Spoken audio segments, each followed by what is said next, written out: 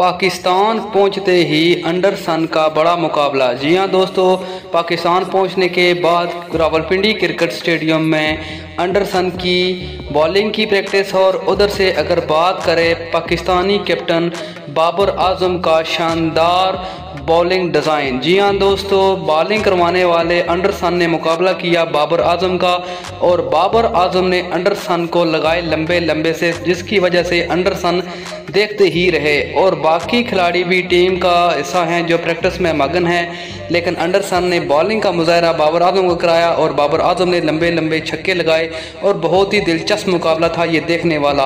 तो दोस्तों, आपसे गुजारिश है कि वीडियो को लाइक कर दें, चैनल पर पहली दफ़ा आए तो चैनल को सब्सक्राइब करके नीचे डिस्क्रिप्शन में आपको एक लिंक मिलेगा क्रिकेट वेबसाइट का, उसको भी क्लिक कर दें। बहुत बहुत शुक्रिया।